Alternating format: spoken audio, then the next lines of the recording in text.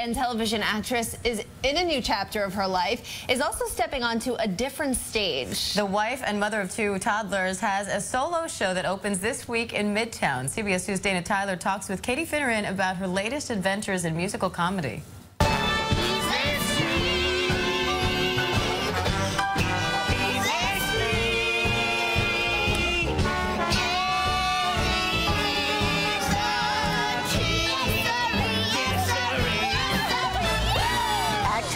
Finneran had loads of fun with the cruel Miss Hannigan in Annie on Broadway, and true to Finneran form, she kept the audiences in stitches. The two-time Tony Award winner taking her act to a new stage this week, a solo show at 54 Below, and she is here to tell us all about it. Welcome, Katie Hi, Finneran. Hi, Dana. How are you? Good. Thank and you yourself? for having me. Nice to see you, and I just can't imagine anything but a smile on your face. Oh, man, it's great. I, am I'm, I'm performing at a Studio uh, 54 Below.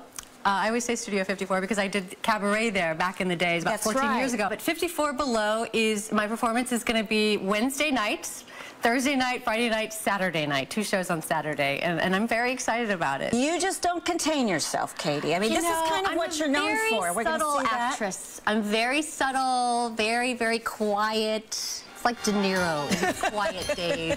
No, um, I, I love making big choices. I love connecting with an audience, and, and I love making people laugh. So hopefully I'll be doing that Wednesday night. And and when you did this too, I mean, just the reaction because Miss Hannigan, she's not the most beloved. You love to hate her kind of person, Totally, right? yeah, yeah. And so even with with kids and, and fans outside, I mean, you have a nice relationship with your with your audience. It was so great because I loved the show so much, and seeing all of these kids come backstage, they were terrified of me, and I was it was always so much fun to, to bring them backstage into my dressing room and have them like stay outside and be terrified and making those big choices. But when they saw me with my makeup off and stuff, it was it was it was great to play those two different roles. It's like, yes, she's a real person. I met you when you were nominated for a Tony Award for Promises. Promises. yes. I couldn't believe the stuff you, you did on stage. Again, very subtle, I know. I think you have a clip, don't you? Here Yes. you are with uh, Mr. Hayes. Yes, Mr. Sean Sean, Hayes. Hayes. He's the best, isn't he?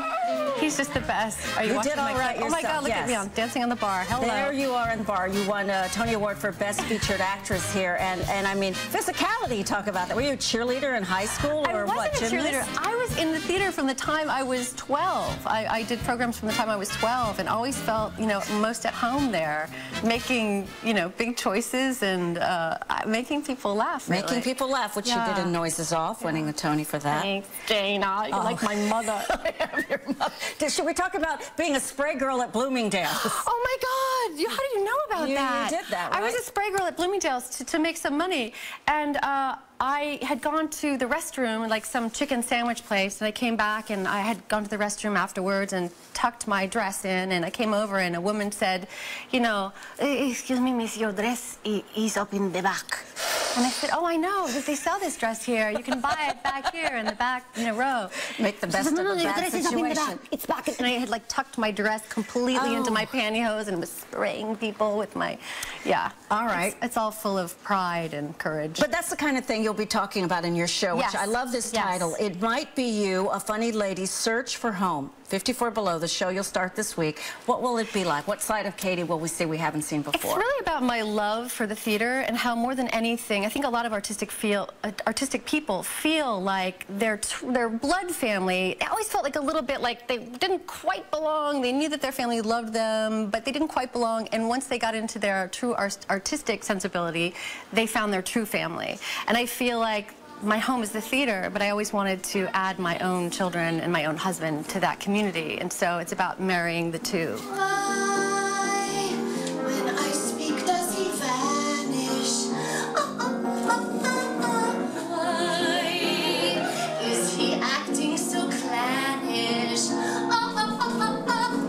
Finding that balance. Yeah, finding that balance. As well as the work you were on the Michael J. Fox show. Yes, which was the best job ever. I love him so much. This solo show, you'll be singing some of what your favorites, a little Sondheim, a little It's funny how it came stuff. together. I, I, I tried to, to talk about the stories that I wanted to tell and what songs served those stories, but then I chose songs that I loved and found stories that that went with this the song.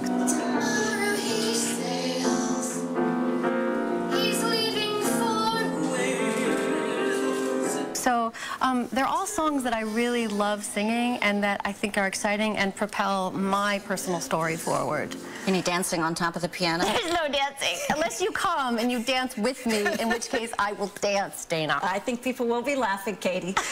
Have a great time Thank with you so much for Best having of luck. me. Big Thank step, you. I know. Thank you. Katie Finneran makes her nightclub debut with It Might Be You, a funny lady search for home at 54 Below, right in Midtown Manhattan, starting this Wednesday. Back to you. All right, and you can find more on Katie's show on our website, cbsnewyork.com. Now we have to figure out how to get Dana on the piano. I know, we do. And you can also mark your calendars. You can watch actor Hugh Jackman hosting the Tony Awards right here on CBS. The show airs live from Radio City Music Hall on June 8th at 8 p.m. I love